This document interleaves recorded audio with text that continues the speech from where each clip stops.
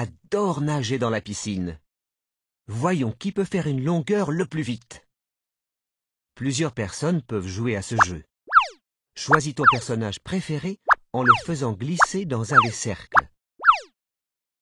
Tape sur ton personnage dans le cercle le plus vite possible. Pour le faire, à vos marques.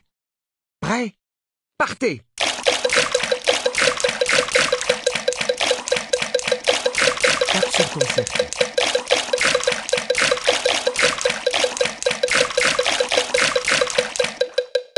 Tu as gagné un autocollant. Maman Pig a gagné la course. Peppa et Georges adorent patauger dans la piscine.